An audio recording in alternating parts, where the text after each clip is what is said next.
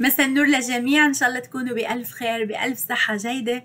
شو مخبلنا 26 الشهر لجميع الأبراج؟ ومن هو مولود غدا؟ مولود السرطان واسع المخيلة بإمكانه أن يحقق الكثير من أحلامه وأهدافه.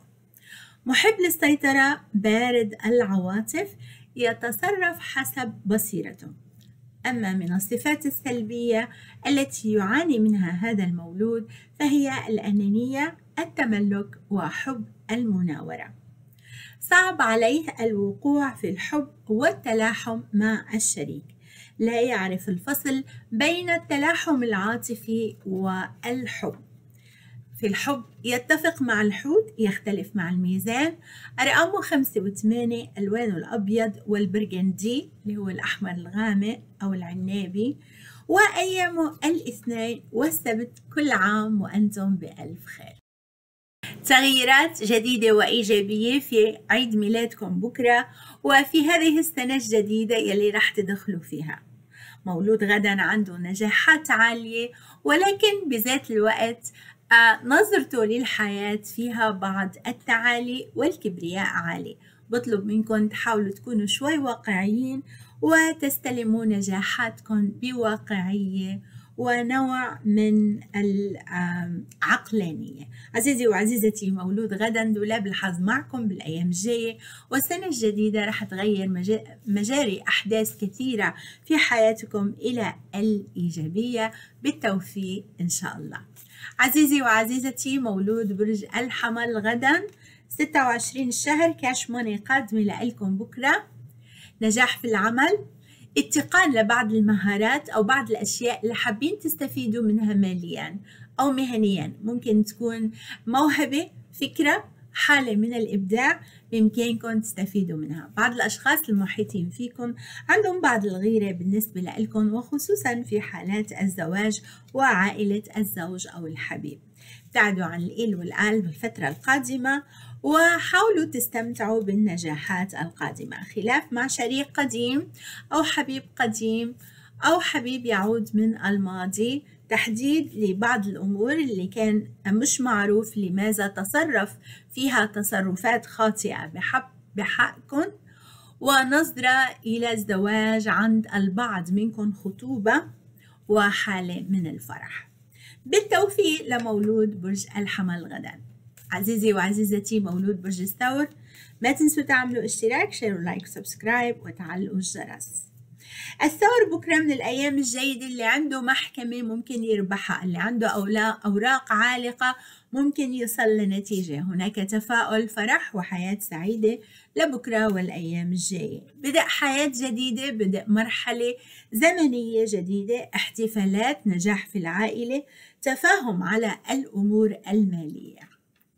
صراحة المود تبعكم عالي بكرة عندكم تفائل من أول النهار. نهار سعيد وجيد. إيدكم ذهب. اطلب تعطى بالتوفيق لمولود برج الثور.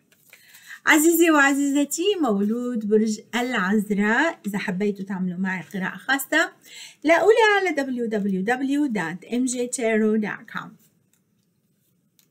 جوزاء يوم جيد.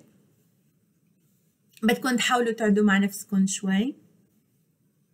تشوفوا شو هي الأمور العالقة وتحاولوا تغييرها الحديث مع الحبيب أو الشريك بحاجة إلى كلام لحل الأمور حتى تقدروا تمشوا العلاقة أو تخططوا إلى المستقبل. فئة منكم عندها نوع من الخوف الداخلي أو عدم الثقة بالنفس مسيطر عليها بهذه الفترة هذا شيء منه كتير جيد لأنه أموركم جيدة وواضحة وعندكم نجاحات كتير كبيرة. السفر الآن ممكن ينحكى فيه أو ممكن تخططوا إلى سفر وهناك نجاح على صعيد الحب العاطفة المعرفة العلم والبحوث. خبر إيجابي وبشارة جاية للجوزاء بالتوفيق إن شاء الله. عزيزي وعزيزتي مولود برج السرطان شو مخبي لكم بكرة؟ مرة تانية كل عام وأنتم بخير لعيد ميلادهم غدا. سرطان لقاء في الحب والعاطفة واختيار لأكثر من شريك. بجوز تكونوا داخلين بعلاقة ثلاثية وعم تحددوا أي شريك بدكم. وجايز ما تكون العلاقة ثلاثية تكونوا داخلين في علاقتين أو ثلاثة أو أربعة مختلفين بذات الوقت. صراحة هدول العلاقات الثانوية مش جيدين لإلكم ولكن هناك علاقة حب جديدة عم تتوضح شوي شوي والشريك سيكون ناجح في حياته ممكن يوصلكم إلى بر الأمان. إذا لم يوضح هذا الشريك عن حبه فهو واقع في الحب وناطر منكم إشارة عزيزي وعزيزتي السرطان. غدا يوم جيد وإيجابي على الصعيد العاطفي الاجتماعي العائلي والنفسي. بالتوفيق للسرطان.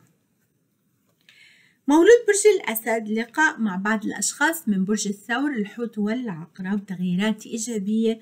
من بعد فترة مريتوا فيها بنوع من الحزن والشعور بأنه أنتم وحيدين أو هناك نوع من الفراغ العاطفي.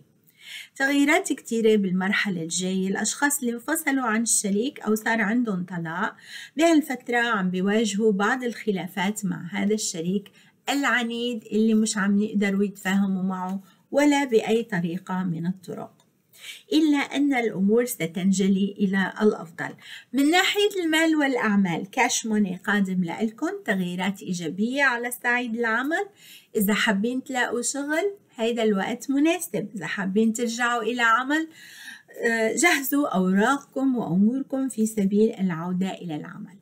نجاح في الدراسة لقاءات واعدة مع الأسرة تفاهم مع بعض الأشخاص هدوء مع العائلة والأصدقاء والجيران بالتوفيق لبرج الأسد. عزيزي وعزيزتي العذراء. عذراء يوم جيد ورائع صراحة وهادئ نفسيا لكم لأسرتكم لعائلتكم. إيدكم ذهب من أول النهار. طلباتكم ممكن تتنفذ بكرة. أي شيء بتمسكوه ممكن تحولوه إلى فائدة إيجابية ومصلحة لإلكم خاصة. لقاءاتكم مع الشريك أو الحبيب وخصوصا الأبراج المائية. بهالفترة فيها بعض الحزن بعض الزعل. الشريك عم بيورجي إنه طفولي آه، تصرفاته غير لائقة بعمره أو بالحالة الاجتماعية اللي هو فيها. ولكن سيأتيكم لقاء من الماضي أو حبيب من الماضي. رح يدخل على حياتكم ويقلب الكثير من الأمور والموازين. كمان عندكم لقاء مع أشخاص من زمان ما شفتوهم. بالنسبة للمتزوجين بهالفترة بدكم تحاولوا تطولوا بالكم شوي لأنه الشريك أيضا معند وعم بمر بظروف صعبة. بشكل عام العذراء بهالفترة عنده هدوء ممكن يحسن أموره بشكل عام مثل ما هو بيقدر في حال إذا استخدم الهدوء والعقلانية بالتوفيق للعذراء. عزيزي وعزيزتي مولود برج الميزان. please اعملوا اشتراك share و like subscribe على الجرس ليجيكم إشعار البث المباشر. ميزان يوم جيد للقضاء مع الأسرة العائلة. أصدقائكم ممكن تتصلوا بناس لكم زمان ما حكيتوا معهم تتواصلوا لتطلعوا من حالة الوحدة اللي أنتوا فيها. أنتم بحاجة للاجتماعيات للقاءات الاجتماعية للصداقات. خبر جيد واتصال إيجابي رح يجي للبعض منكم يحمل بشارة معه. خبر جيد منتظرينه من زمان إما لفرح أو لخطوبة أو لزواج أو لعمل أو لدراسة. شو ما كانت الأمور فترة إيجابية جدا بالمرحلة القادمة وبكرة من الأيام اللامعة في حياتكم. اتفاق على الزواج عند البعض منكم والتحضير للزواج بشكل جدا واضح مش بتلميح وليس بفكرة إنما واضح جدا. ممكن الشخص اللي حابب إنه يكون معكم في علاقة زواج أو أنتم تكونوا معه في علاقة زواج عم تحكوا حاليا عم تمشوا بخطوات الزواج أو ممكن تتفاجئوا فجأة أنه هذا الشيء سوف يتم. بالتوفيق! للميزان بالحياة العائلية الجديدة. عزيزي وعزيزتي الميزان علاقتكم معدل وبدأ انتباه بهالفترة. كذلك علاقتكم مع العذراء والقوس. تغييرات إيجابية رح تغير جزء من حياتكم. اعملوا اشتراك share و like لاقوني على www.mjtaro.com للقراءات الخاصة. شكرا. مولود برج العقرب. عقرب بهالفترة اللقاءات مع النساء جيدة وهناك حظ سيأتيكم من النساء وخصوصا نساء الأسد القوس الحوت والحمل. حب ولقاء عاطفي أيضا مع طائفة الأبراج النارية أو الأشخاص اللي عندهم طبع ناري أو ساعد برجهم ناري. لقاء عاطفي يتم بكرة أو بالأيام القادمة. بيحمل معه أخبار جيدة ونظرة إلى المستقبل وتخطيط للإيجابية. إذا كنتم منفصلين ممكن الرجوع يتم. إذا كنتم ما أخذين قرار بعد حابين تنفصلوا يمكن الوقت لا يكون مناسب. علاقتكم مع السرطان بهالفترة فيها بعض التشويش وممكن ما تكونوا على نفس الصفحة ويكون خلافات مع العائلة. بعض الأشخاص الطفوليين والغير ناضجين دخلوا حياتكم وعم يتصرفوا بطريقة غير إيجابية بهالفترة. قد يكونوا جزء من أفراد الأسرة أو أطفالكم أو أشخاص محيطين فيكم عليكم بالانتباه. اتصال يأتي لبعض منكم قد يكون من برج الحوت أو من طبيعة آه لها صفات برج الحوت. خبر جيد واتصال في بشارة لكم بالتوفيق للعقرب.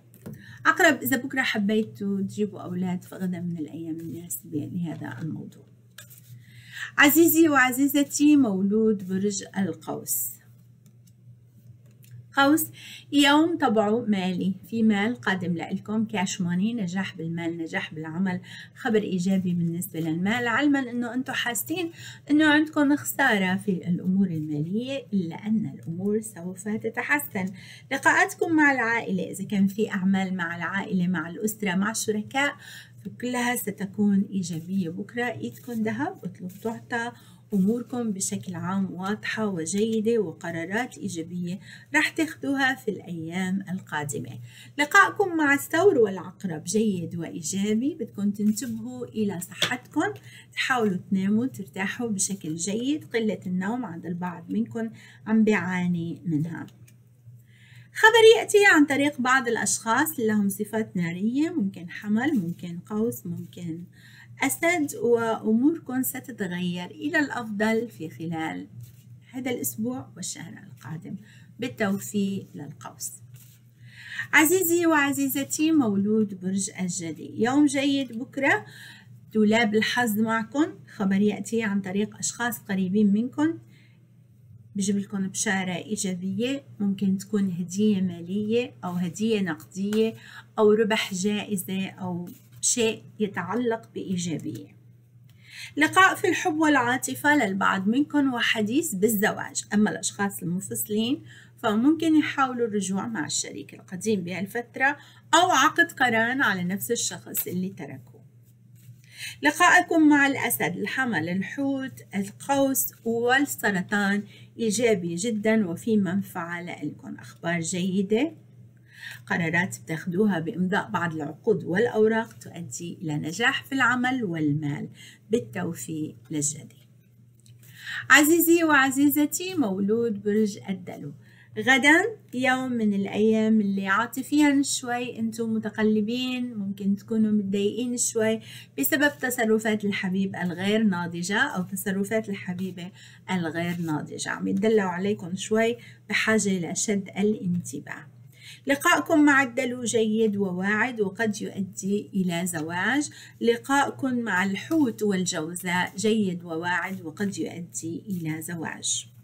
أموركم بشكل عام في الصحة جيدة ولكن أنتم بالانتباه بحاجة للانتباه أكثر لصحتكم. تحليل تعملوا تحليل للدم تابعوا الضغط السكري ووجع الرأس. بالنسبة اللي عم بجيبوا عم بحاولوا يجيبوا أولاد بهالفترة مراجعة الطبيب مهمة ممكن تؤدي إلى أنه يصير عندكم حمل بالتوفيق للدلو. عزيزي وعزيزتي مولود برج الحوت. برج الحوت عم بيعاني بهالفترة من أشخاص داخل بيته عم بيسببوا له بعض المشاكل والقلق. الأشخاص إما من أفراد عائلته أو أسرته أو أشخاص عايشين معه بنفس البيت. قلبوا الموازين وخسروا الكثير من الأموال. أما في المرحلة القادمة فالحوت سينتعش ويرتفع ومن بعد الظهر بكرة الأمور ستكون بحالة إيجابية. الحب والعاطفة غدا من الأيام الجيدة. للحب والعاطفة مصارحة الشريك الكلام مع الشريك ترسيم العلاقة والحديث في حب وزواج.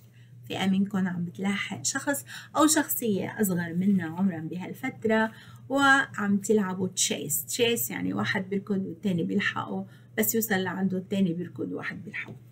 ما هو السبب يا ترى؟ هل يلفتكم آه، شخصية هذه آه، الأشخاص اللي عم تلاحقون أو هل تلفتهم شخصية شخصيتكم.